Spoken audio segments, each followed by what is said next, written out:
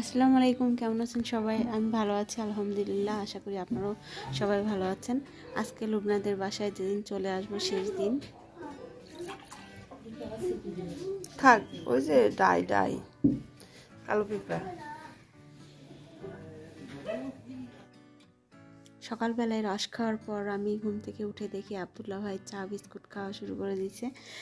আর আমি এইদিকে আন্টি হাতে কালায় রুটি বানাচ্ছিল, সেখানে বসে বসে গরম গরম রুটি খাচ্ছিলাম। আর আন্টি অনেক কিছু নাস্তা বানাইছিল, আমি ওই সব নাস্তা মানে না খেয়ে এই রুটিটা খাচ্ছিলাম, কারণ এই হাতে বানানো কালাই রুটিটা অসম্ভব মজা লাগে আমার কাছে। তো এইখানে আবদুল্লাহ ভাই চা নাস্তা খাওয়ার পরে সকালে নাস্তা করছে। চা আর বিস্কুট খাইছে, নাস্তা খাইনি আসলে, চা বিস্কুট খাইছিল, এখন নাস্তা করতেছে। আর আমি এদিকে গরম গরম রুটি বানানো দেখছি আর চুলার পাশে বসে এটা খাচ্ছিলাম। এটা ঝাল, বাটা, মরিচ, রসুন আর ধনিয়া পাতা দিয়ে একটা ভর্তা। আর এটা যে কী যে মজা লাগে। আমরা এটা খুবই পছন্দ করি। আমাদের এদিকে অঞ্চলে সবাই এটা পছন্দ করে। আমি জানি না সবাই খায় কি না হাতে বানানো কালাই রুটি এটাকে বলি।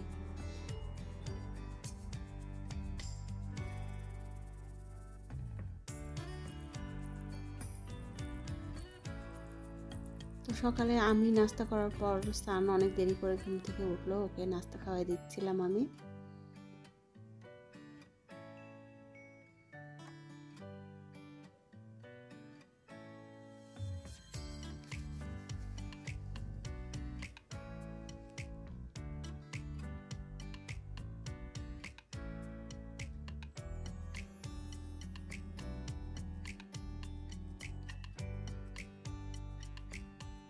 সকালে নাস্তা খাওয়া শেষে আমরা একটু দুইটা আন্টির বাসায় যাচ্ছিলাম। লুবনার দুইটা খালা, একটা বড় খালা, একটা মেজো খালা। তো ওইখানে যাওয়ার সময় আমরা এই- গ্রামের এই দোকান থেকে কিছু বিস্কুট, চিপস কিনলাম। এখানে আসলে যা পাওয়া যায় সেটাই নিলাম।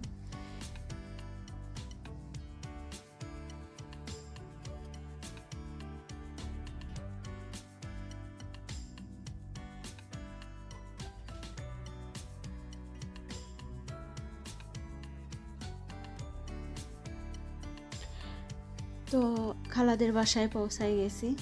এই যে এটা হচ্ছে বড় খালা, উনি একটু অসুস্থ। এটা মেজো খালা। সবাই খুবই ভালো এবং আন্তরিক। আমরা যাওয়ার পরে আমাদেরকে অনেক নাস্তা টাস্তা খাইতে দিয়েছিল আমরা তো বাসা থেকে নাস্তা খেয়ে বের হয়েছি, তারপরও জোর করে আমাদেরকে এগুলো দিল, আমরা খাইলাম টুকটাক। যাই হোক গ্রামের মানুষের আন্তরিকতা আত্মীয়তা, এটা বলে বোঝানো যাবে না। খুবই মন থেকে ভালোবাসে, যাকে ভালোবাসে খুবই মন থেকে সবাইকে ভালোবাসে। আর এই জিনিসটা খুব ভালো লাগে। তো ওখান থেকে ঘোরাঘুরি করে দেখার পরে বাসায় চলে মানে রূপনাদের বাসায় চলে আসছিলাম। তো এখানে মাঠের ভেতর দিয়ে যাওয়া যায়। প্রথমে আমরা যখন গেছি তখন রাস্তা দিয়ে গেছি। তারপর যখন আসছি, আমরা মাঠের ভেতর থেকে আসছি।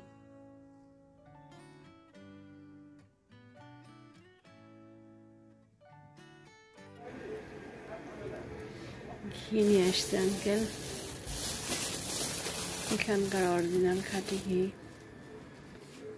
সব কিছু গুছাই রাখছি চলে যাব আর করে না পা। স্মার্ট লাগছে না আমার হ্যাঁ। স্পাইক করি। দিন ঠিক আছে করেন মেসে তো গেলি মেলা কথা কোন ছেলেবেলে কি করা যায় আপনার বলুন তো?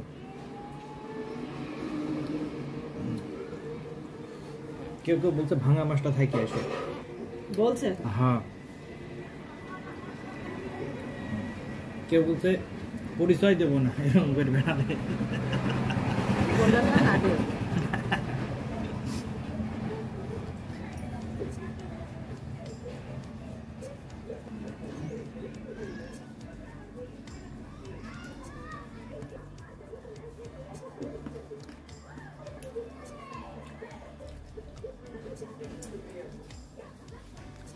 সব প্রমাণ থাকবে যে সব সারই খাচ্ছে।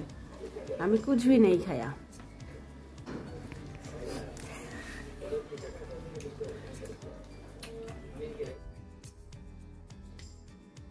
তো আন্টি আবার আসার সময় সানের আব্বুর জন্য আবারও পিঠা বানাচ্ছিল। বানাই আমাদেরকে দেওয়ার জন্য প্রস্তুতি নিচ্ছিল। তো সেই পিঠাগুলো বানানোর পরে আমাদেরকে দিল।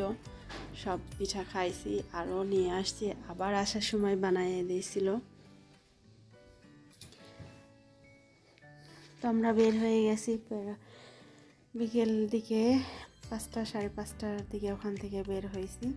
সব কিছু মিলাই আমাদের এই বেড়ানোটা অনেক সুন্দর ছিল এবং অনেক ভালোবাসা পাইছি সবার কাছ থেকে। আর সবার কথা খুবই মনে পড়ছে, সবাইকে খুব মিস করছি, বিশেষ করে আঙ্কেলকে আমার খুবই ভালো লাগছে। আন্টি আঙ্কেল দুজনেই খুবই ভালো মানুষ। তো সবাই দোয়া করবেন আঙ্কেল আন্টির যেন তারা যেন সুস্থ থাকে এবং অনেক দিন যেন বেঁচে থাকে তাদেরকে সহি সালামতে রাখে। আর আমরা যেন তাদের কাছ থেকে এই ভালোবাসা সবসময় পাই পাই। কারণ মুরব্বীদের ভালোবাসা পাওয়াও একটা ভাগ্য লাগে। তো আমার ব্লগ যদি আপনাদের ভালো লাগে তাহলে অবশ্যই সাবস্ক্রাইব করে পাশে থাকবেন লাইক করবেন, বন্ধুদের সঙ্গে শেয়ার করবেন। আর ভালো থাকবেন সবাই, আল্লাহ হাফিজ সবাইকে। আজকের ব্লগটা এ পর্যন্তই।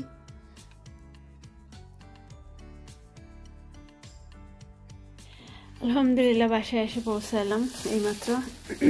আন্টি এই যে ব্যাগের মধ্যে এত কিছু খাবার আমরা গেছিলাম, তারপরও এত কিছু আবার দিচ্ছে এই যে ঘি, এর মধ্যে ঘি, আরও কত কিছু পিঠা টিঠা, এটা সেটা দিচ্ছে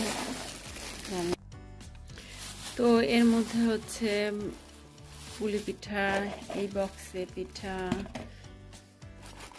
এই বক্সে পিঠা। এই বক্সে পিঠা এখানে চিরা ভাজা এখানে ঘি এখানে মাংস তারপরে এটাতে দিচ্ছে একটা ভর্তা এটাতে মাটির নিচের আলু এগুলো সব আনতে দিচ্ছে বাসায় আসার পর আমি রাতে নুডলস খেতে চাইলো ছেলে তাই নুডলস রান্না করছিলাম আর কিছুই করিনি সবাই খাওয়া দাওয়া করে আসছিল। তো আমরাও খাইছিলাম না, খেয়ে আসছিলাম। তো আবারও বলছি, ভালো থাকবেন সবাই। আল্লাহ হাফিজ সবাইকে।